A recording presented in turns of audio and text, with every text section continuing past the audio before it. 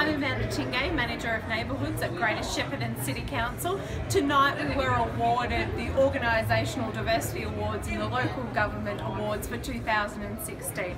This award is a fantastic achievement of our Women's Charter Alliance Committee that does great work in supporting diversity of our community. We're really thrilled to have won this award tonight, a fantastic achievement for all that's involved. Hi, I'm Kate Montgomery and I'm Women's Charter Alliance Advisory Committee member.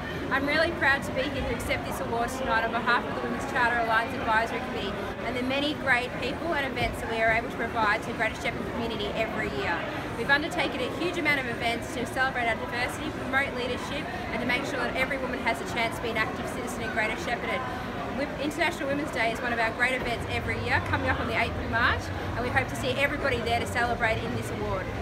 As the Director of Community at Greater Shepparton Council, I am very proud of the Women's Charter Alliance. They really deserve this award and um, they deserve all the accolades that they can get. So well done to them all.